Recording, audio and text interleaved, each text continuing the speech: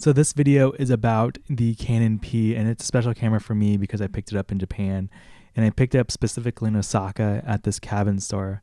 And a cabin store is a lot like a thrift store. In Japan, these are kind of hard to find, run by. So I found it in the basement of this building, kind of near this building. So this is the Sky Tower. It's about a 20 minute walk from there. And I went there and there's a big cabinet with all these um, cameras. And I was looking for something under $50 and when I saw the Canon P in there, I picked it up and I immediately knew I wanted it. And actually went home to my hotel and then came back to buy it. And I bought it for like $26 and it was a steal at the time. But it's a camera that right when I picked it up, I knew it was special and I knew it was really important. And then it felt just right. The build quality was amazing. The way it felt in your hand was amazing. And for Canon is actually a really special camera too. Canon up until this point, 1959, when this camera was released, was kind of making just like a knockoffs. And this camera that's a hot shoe right there. This camera was the first time they really imprinted Canon on their thing, and they really stepped away from that. So this is kind of like one of the first real Canon cameras. Up until this point, they were like a lot of companies in making copies of Leicas. Here's the viewfinder, and it's a viewfinder coupled with a rangefinder. So pretty simple, very bright, and very clean.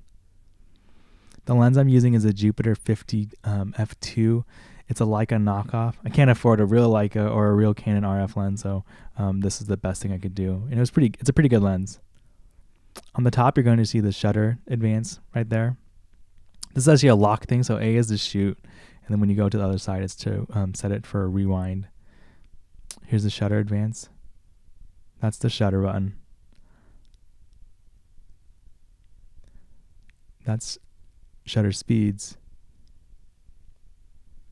and this is the rewind lever. So the rewind lever, if you look at this camera, a lot of the lines look similar to a Leica M3, which it's trying to copy to some, to some degree, but it actually takes a lot of cues on its own and it moves in its own way. So this rewind lever is a specific Canon thing. It isn't found in any other cameras. On the bottom of the camera, you're gonna see something that looks very similar like M3. This um, the film opening.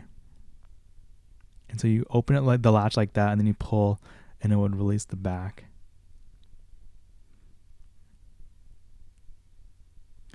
Then you simply put your film in, pull up the rewind spool or the rewind lever, and then put your film into the right.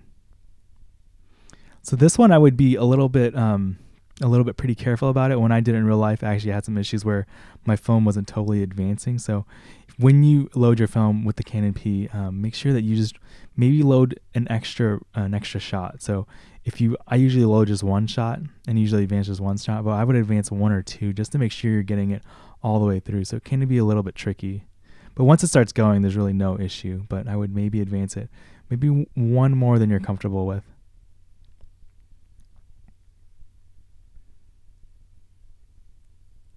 So when you're done shooting, you're just going to use the rewind lever like that, turning it clockwise, and then opening the hatch on the bottom, and then opening the back of the camera. So I'm going to show some of my photography I've done um, in the winter when I went to Mexico. And usually I don't show stuff with um, interchangeable lenses, but this is a special case. And um, and the reason for that is someone will just say it's the lens that's taking it. But this one with the Canon P and with the Jupiter lens, I got some really great shots. I'm trying to learn how to develop black and white film. So this is shooting with um, Ilford 400 film, HP4, I believe. And the shots I got were pretty great. And I think the lens is very contrasty and very sharp. And the Jupiter lens, I've, I've heard those rumors and I think they live up to it. It's a really great lens if you can't afford a Leica and you can't afford a Canon rangefinder lens, but really great lens. And I had a lot of fun shooting with it. And so this is one of my favorite cameras in the last four or five years I picked up. One of the reasons is because it's a cool story of where I picked it up and how I came to got it. But another one is just it's so well built. There's nothing extra like a meter in there that can get in the way, and there's not much that can go wrong with it. And that's why I really like it. It makes shooting a little bit easier and it makes shooting pretty fun. And on top of that, it's really gorgeous and really well built.